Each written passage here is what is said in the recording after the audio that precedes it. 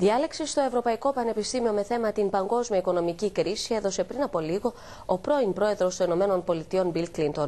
Ο ίδιος είναι ο επίτιμος Chancellor της Laureate International Universities, που αποτελεί το μεγαλύτερο πανεπιστημιακό δίκτυο στον κόσμο και στο οποίο ανήκει και το Ευρωπαϊκό Πανεπιστήμιο Κύπρου. Όπως αναφέρουν οι εκπρόσωποι του Ιδρύματος, η επίσκεψη Κλίντον στο Ευρωπαϊκό Πανεπιστήμιο αποτελεί αναμφίβολα ένα σημαντικό και συνάμα ιστορικό γεγονός υψής σημασίας με πολλαπλές διαστάσεις για τα δεδομένα της Κύπρου.